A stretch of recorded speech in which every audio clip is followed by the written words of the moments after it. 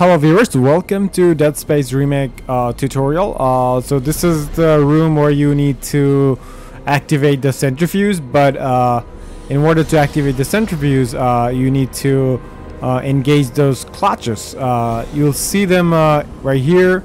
You can see they have the kinesis module sign, but if you're trying to activate these things, like it's not gonna work because it's on move. It's like moving, so you have to first you have to use your stasis module and then uh, you can like actually use the sta stasis module to slow it down and then push it in.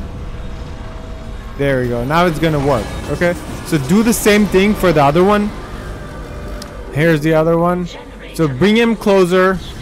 So bring him closer.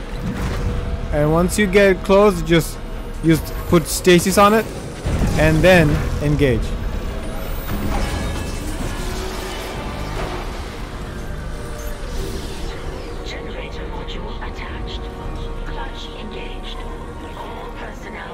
So now uh, both of the clutches uh, engage. So now we need to activate it.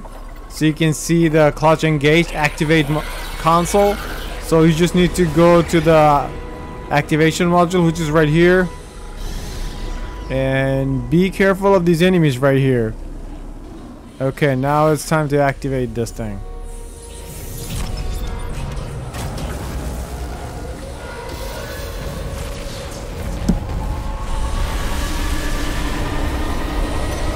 Alrighty, I hope this little tutorial was helpful. Uh, be sure to like and subscribe, and uh, thank you so much for watching.